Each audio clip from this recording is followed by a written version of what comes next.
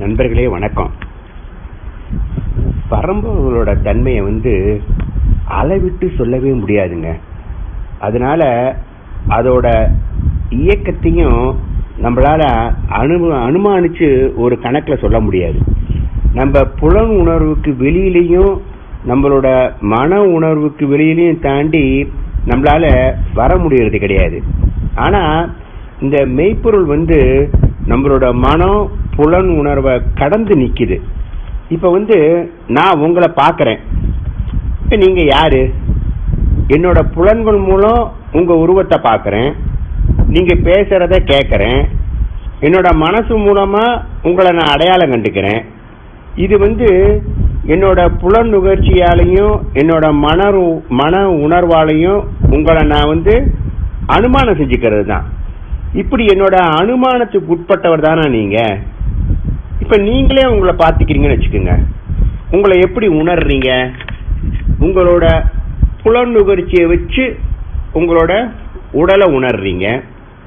உங்களோட மன உணர்ச்சியை வச்சு உணர்வை வச்சு உங்களோட மன இயக்கத்தை நீங்க உணர்றீங்க. இந்த ரெண்டு வகை உணர்வு மூலமா உங்களை நீங்களே அனுமானம் பண்ணிக்கிறீங்க. இந்த அனுமானத்துக்கு உட்பட்டவர் தானே நீங்க. உங்களை நீங்களே யாரா எண்ணிக்கிறீங்களோ அப்படிதானா நீங்க? இது உங்க அனுமானம் தான் இது உங்களோட எல்லைக்கு உட்பட்ட ஒரு சிறிய அறிவு கணக்கோட அனுமானம் தான் உங்களோட அனுமானத்தை கடந்த நிலையில நீங்க யாரு? உங்களோட சிற்றையோட அனுமானத்துக்கு அப்பாற்பட் அப்பாற்பட்ட நிலையில நீங்க யாரு? அதுதான் நீங்களே அந்த பரம்பொருள்.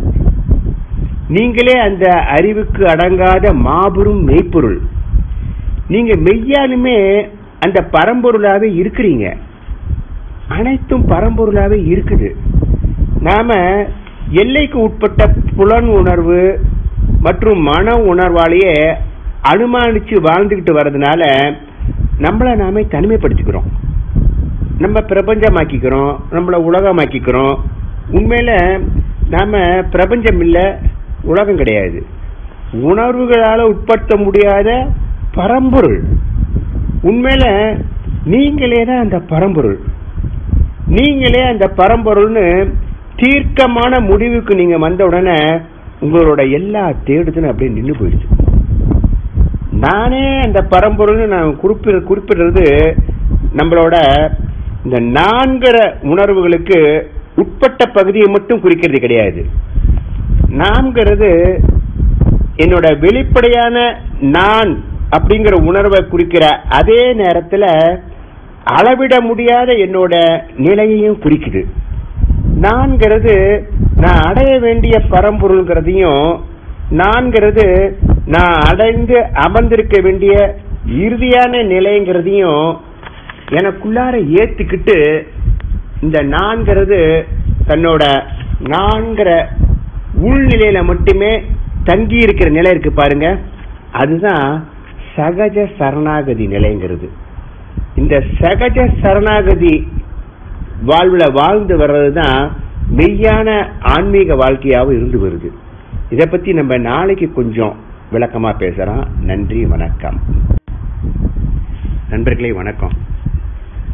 உங்களை நீங்களே பரம்பொருளா ஏத்துக்கிறது அப்படிங்கிறது கொஞ்சம் சிரமமான வேலை தான் ஏன்னா நீங்க வந்து உங்களை ஒரு எல்லைக்குட்பட்ட இயக்கம் உள்ள ஒரு தனி நபரா எண்ணிக்கிட்டு அப்படியே செயல்பட்டு பழகி வந்திருக்கீங்க.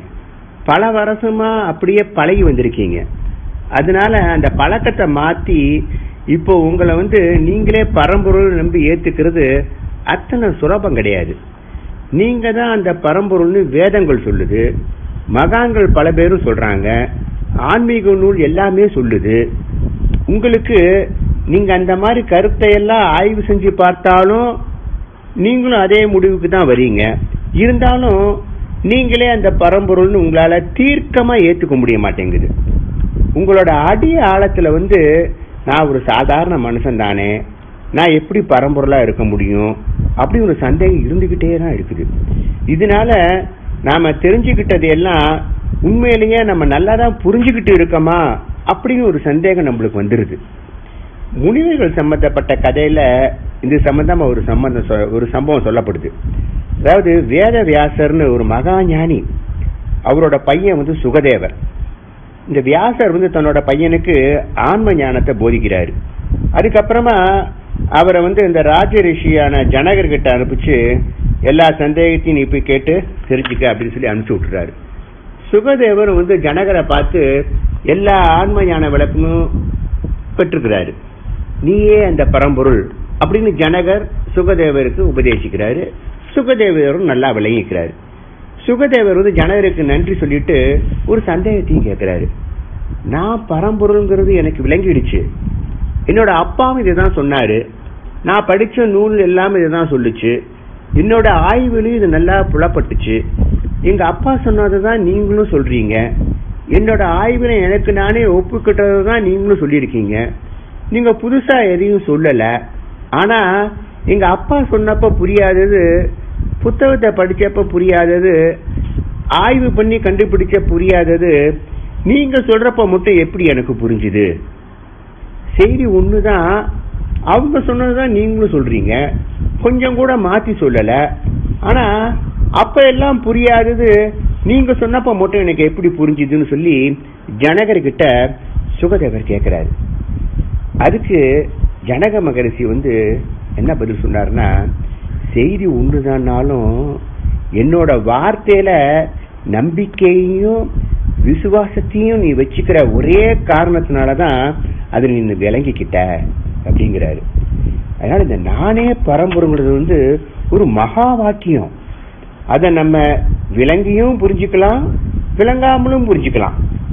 அதுக்கான விசுவாசமும் நம்பிக்கையும் ஏற்படுறப்ப இந்த நானே பரம்பொருள்ங்கிறத நம்ம ஏத்துக்கிறோம். அந்த நிலையில வந்து பூட்டி கிடந்த எத்தனையோ கதவுங்க வந்து உங்களுக்குள்ளார அப்படியே திறந்துக்குது. இப்ப சகஜ சரணாகதியில அசைவில்லாம நீங்க உட்கார்ந்துருக்கீங்க. எல்லா செயலுமே தானாவே நடக்குது. அந்த செயல்கள் எல்லாம் உங்களோட செயல் இல்லை. அது எல்லாமே அந்த பரம்பரையோட செயல் தான் எல்லாமே அந்த பரம்பரோட இயக்கமாக தான் இருந்துகிட்டு இருக்குது. நன்றி வணக்கம்.